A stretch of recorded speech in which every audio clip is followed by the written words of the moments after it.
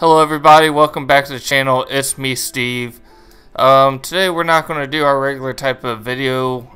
We are actually going to do a time lapse later. I just wanted to give a little bit introduction that we actually are building a restaurant.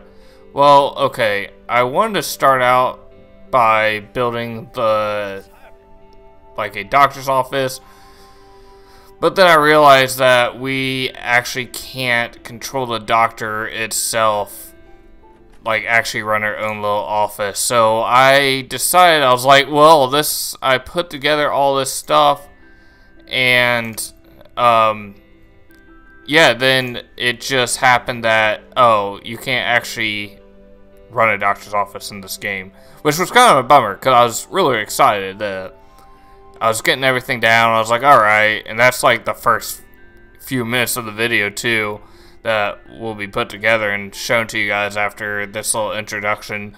Um, so I was like, crap, what do I want to do? The doctor's office sounded like more fun to me in the way that, hey, um, he just passed out. That happens all the time. Um, that it would be challenging, but at the same time, that we could have a little bit more fun in the sense of trying to create different scenarios like, oh, getting people sick or giving wrong treatment. And I know that sounds morbid, but again, you've kind of seen the gameplay so far. If you haven't, check it out because it's it's I would say hilarious in my mind. Um, but yeah, it it would have been a lot more fun. So I was thinking, well, I want to create a restaurant instead and see what we can do with that. And um, yeah, it, it it turns out great, and it was really fun to build. So you'll see my thought process through a lot of it, and of course, comment if you have any questions. I'm always up to answer anything.